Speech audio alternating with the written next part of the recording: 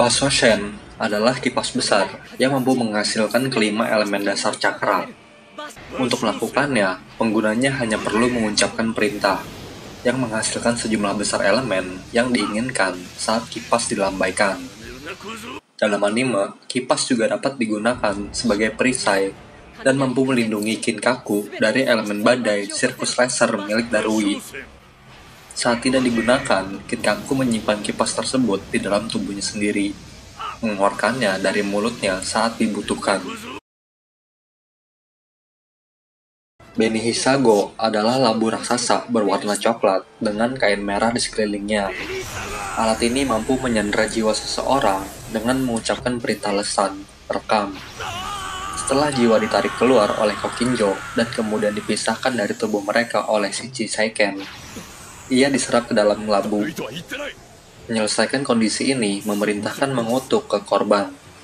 Jika mereka mengucapkan kata yang paling sering mereka ucapkan selama hidup mereka, mereka akan tersedot ke dalam dan terperangkap dalam Benhi Sago. Mengatakan homofon dari kata yang paling sering mereka ucapkan atau bahkan tidak mengucapkan kata apa pun selama jangka waktu tertentu juga akan memicu hisapan labu jika korban mulai tersedot ke Beni Hisago, hisapan akan berhenti jika kata yang paling sering digunakan berubah. Kohaku no Johei adalah sebuah panci besar atau gentong besar yang memiliki kemampuan untuk merekam suara target, kemudian menyegelnya jika target merespon saat dipanggil oleh pengguna panci tersebut. Fungsinya mirip dengan Beni Hisago, tetapi lebih canggih karena persiapan yang dibutuhkan lebih sedikit. Dalam anime, panci tersebut diisi dengan cairan gelap.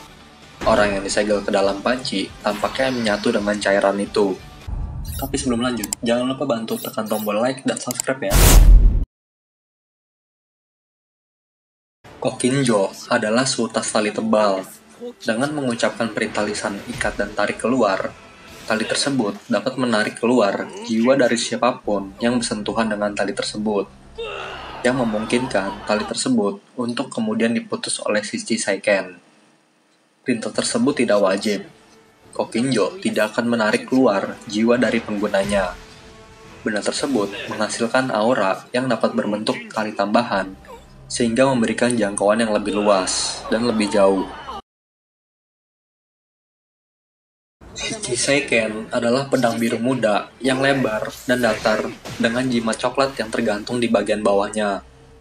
Dengan mengucapkan perintah lisan kutukan, pedang ini dapat digunakan untuk memutuskan jiwa dari mereka yang terkena Kokinjo, yang memungkinkan jiwa tersebut tersedot ke dalam Beni Hisago.